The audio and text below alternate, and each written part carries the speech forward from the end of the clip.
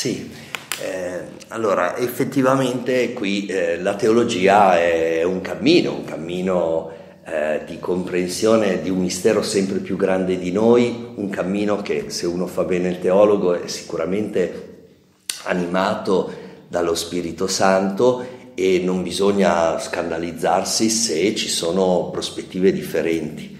Eh, anche per la teologia vale quello che vale per tanti saperi, cioè cos'è il fondamento, cos'è la cosa importante, non è sicuramente quello che l'impianto teologico di Don Franco piuttosto che quello di Rahner, piuttosto che quello di Chenou, l'importante è comprendere la parola, cioè la parola fatta carne, appunto fare quell'operazione che Gesù dice nei discorsi da Dio nel Vangelo di Giovanni, vi, vi dono lo Spirito Santo e lui vi aiuterà a far memoria, che non significa semplicemente eh, a ricordare perché passano gli anni e noi diventiamo un po' duri di memoria, ma far memoria vuol dire tornare a Gesù, comprendere il significato salvifico di Gesù per, per il mio oggi, per il nostro oggi, per l'oggi della Chiesa.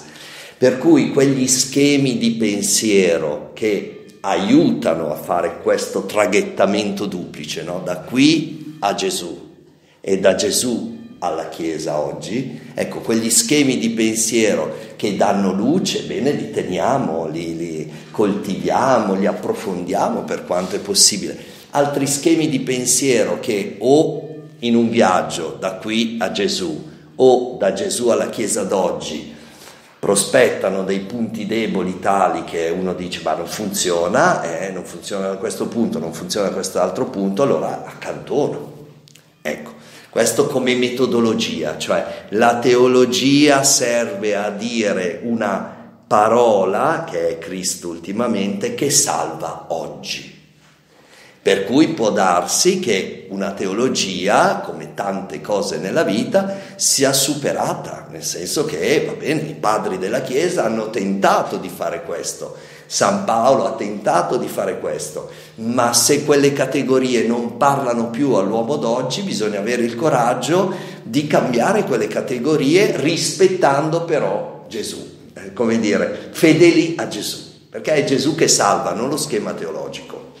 Ci siamo, questo come metodo detto proprio eh, brutalmente. Sulla chenosi ci sono delle riflessioni, anche delle tesi di, di, di, dottorato, così che fanno affiorare quegli autori che hanno impostato la loro cristologia sulla chenosi.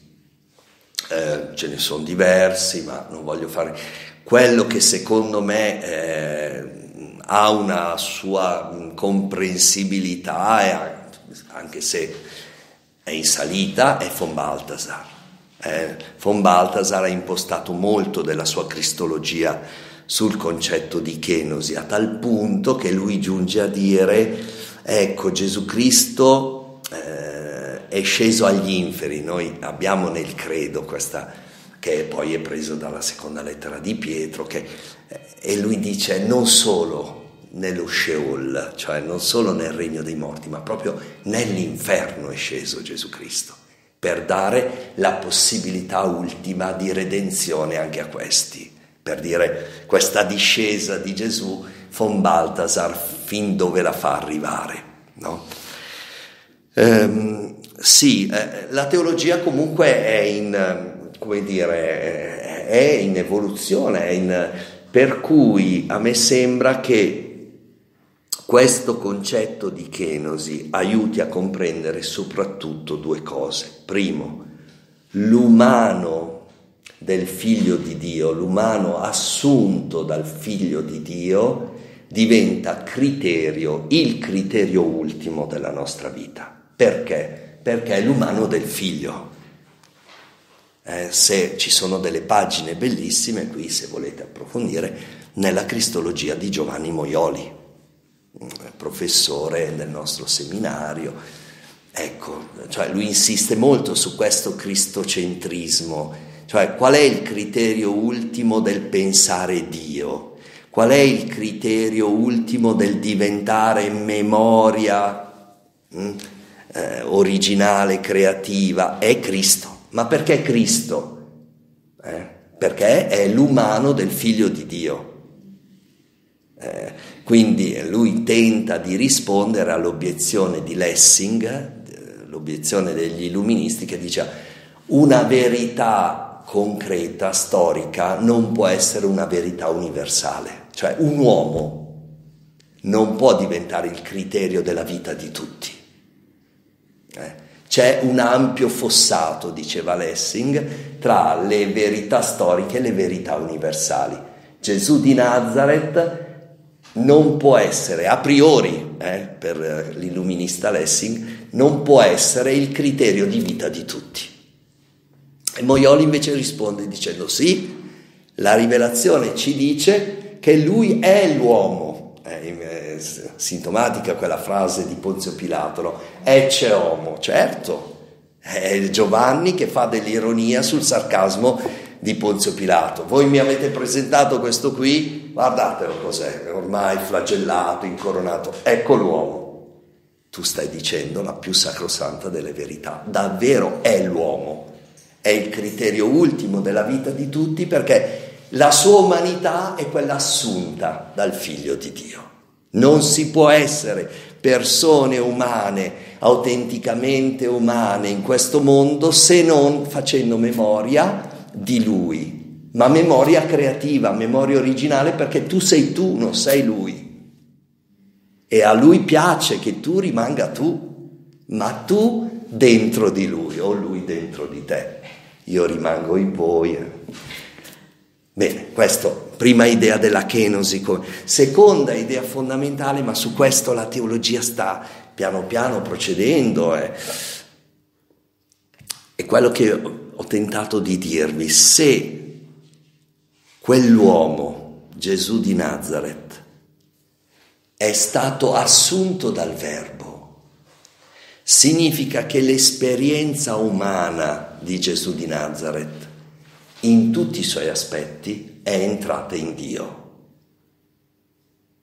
Cioè, in Dio Trinità c'è l'umano. Capite com'è, com'è bella questa cosa qui, com'è feconda questa cosa qui, da cui il mio, appunto, il mio ragionare persino sulla sofferenza. Se Gesù eh, è risorto ed è alla destra del Padre, che significa è in Dio, significa che ha portato in Dio quell'esperienza di sofferenza per amore che è redenzione che è redenzione per noi tutte le volte che soffriamo come Lui, con i suoi stessi sentimenti. Ma questo, eh, capite dove sto andando, no? Questo significa che Dio diviene. Ecco, capite che qui tutti si blocciano, cioè Dio diviene e se Dio assume la storia, se non altro la storia di Gesù, non dico la mia, povero figlio, ma la storia di Gesù, almeno quella, eh, se la storia di Gesù ha un valore in Dio, vuol dire che Dio diviene. Eh, vuol dire tanto. Lo dico in un altro modo e così rispondo sempre all'interrogativo sulle diverse impostazioni teologiche. Cosa ha fatto Tommaso d'Aquino? Grande. Ha fatto quello che la Chiesa deve fare sempre cioè è partito da alcune categorie filosofiche, culturali, avevano scoperto in quel periodo dei filosofi arabi, Avicenna, Verroè, lui li prende, attraverso questi giunge ad Aristotele e attraverso le categorie aristoteliche costruisce il suo castello, il suo impianto teologico, il pensiero, la summa, attraverso delle categorie che la gente in quel momento comprendeva, almeno nelle università. Tommaso era un professore, no? Parigi, no? Eh, prende quelle categorie che la gente comprendeva e dice Gesù, cioè dice il mistero salvifico di Cristo, che è la teologia, no? Lo dice con quelle categorie, ha fatto un impianto. E per secoli, fino ai nostri giorni, quell'impianto è funzionato a tal punto che ci sono documenti della Chiesa che dicono bisogna procedere secondo la neoscolastica, cioè il pensiero di Tommaso che poi ha vinto nelle scuole del Medioevo, la scolastica, riveduto e corretto, vale ancora oggi. Sì e no. Ma non per criticare Tommaso in quanto tale, grande teologo, ma mi rendo conto di due cose. Primo che certe categorie di Tommaso oggi non sono più capite da nessuno. e beh, questo è un problema. Cioè, se, se, noi insegniamo una teologia che non è capita da nessuno, uno dice ferma un attimo, non stai facendo il tuo lavoro. Devi trovare altre categorie. E secondo, è proprio vero che un impianto come quello aristotelico di, di Aristotele, che Tommaso ha messo in gioco nella riflessione teologica, un impianto fondato sul rapporto causa-effetto. Per cui chi è Dio? È il motore immobile, cioè motore muove tutto, ma immobile perché nessuno muove lui, è Dio. È la causa incausata. Mm? Ok, serve a dire tante cose questo, spiegare tante cose, e Tommaso è stato grandioso, ma dov'è l'agape? Capite che non è una domanda secondaria, eh? perché noi dalla rivelazione abbiamo Dio è agape. E in un impianto di tipo aristotelico, dov'è l'agape? Perché la causa non ha bisogno di essere mossa da, da amore. Eh, la causa, causa, eh, eh, ma non si dice per amore. E invece tutta la rivelazione che ha in Gesù il suo compimento dice l'ha fatto proprio per amore, anzi lui è amore.